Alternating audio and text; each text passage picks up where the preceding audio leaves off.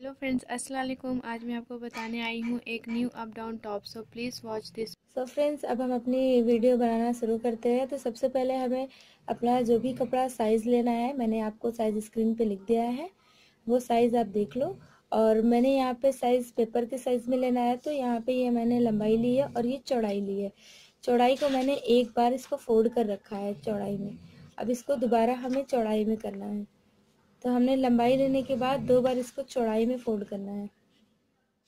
फिर ये हमने दो बार चौड़ाई में इस कपड़े को फोल्ड कर दिया है।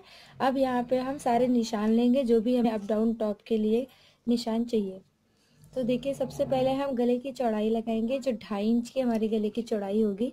ये हमारी गले की चौड़ाई है ढाई इंच की। इसके बाद हम कंधा लेंगे, जो हमारा छः इंच का कंधा होगा। ये हमारा छः इंच का कंधा है। अब यहाँ से हमें नीचे की तरफ़ मुद्दा लेना है, जो हम लेंगे साढ़े छः इंच का। यहाँ से देखिए हमने साढ़े छः इंच का मुद्दा लिया है। अब जो ये निशान हमारा है बच्चा मैंने लिया है चालीस प्लस छः इंच।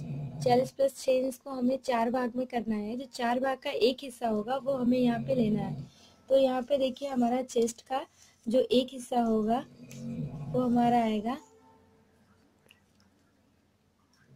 साढ़े ग्यारह इंच। ठीक है? ये हमारा साढ़े ग्यारह इंच आ रहा है। यहाँ पे। ये साढ़े ग्यारह इंच है।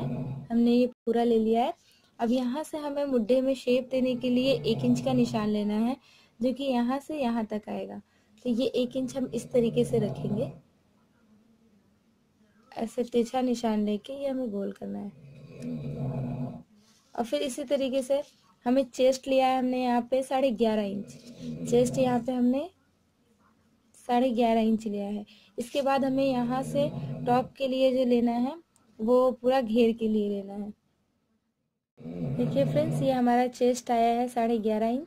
जो इतना एक्स्ट्रा कपड़ा है, वो हमारा बच्चा रहेगा। अब इसके लिए हमें जो नीचे का हिप के पास से घेर चाहिए पूरा, वो लेना है। तो यहाँ पे हमने साढ़े ग्यारह लिया है और जो हमारा घेर होगा, बारह या तेरह इंच का होगा। तो यहाँ पे हम तेरह इंच का घेर लेते हैं। दो इंच चेस्ट से ज़्यादा।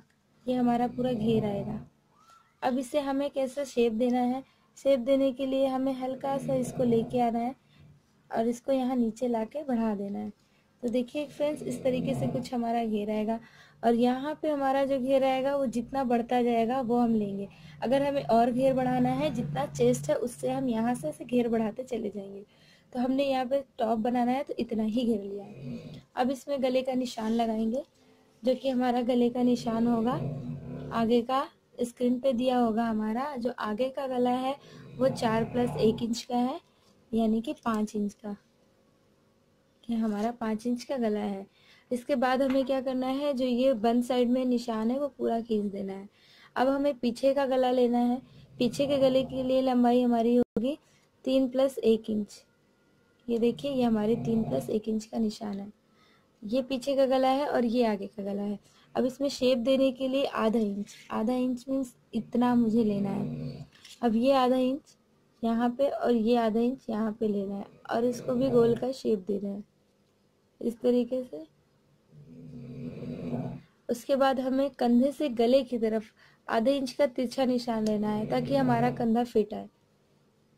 कुछ इस तरीके से निशान होगा कंधे का। ठीक है फ्रेंड अब इसे हम कट करेंगे।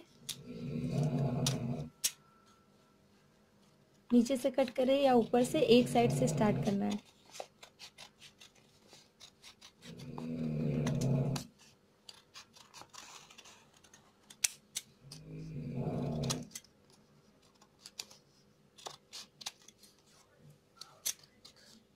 कंधा कट करने के बाद हमें छोटा वाला गला कट करना है पहले। इसके बाद हम इसे खोल देंगे और इसे हटा देंगे। फिर ये जो बड़ा वाला है, वो निशान कट करना है। ये कुछ इस तरीके से आएगा। ये देखिए, अब इसे अप डाउन करने के लिए, इसका अप डाउन रखने के लिए हमने इसकी पूरी लेंथ ली है। तीस इंच की तो हमें अप डाउन जो करना है, पाँच या छः इंच का रखना है। तो मैं यहाँ पे पाँच इंच का अप डाउन रख रही हूँ।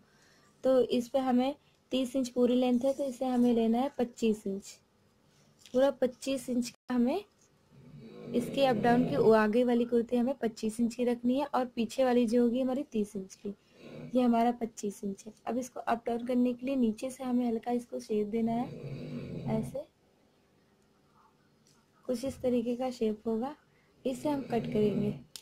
पीछे का साइड हमें कट नहीं करना है, सिर्फ़ आगे का करना है।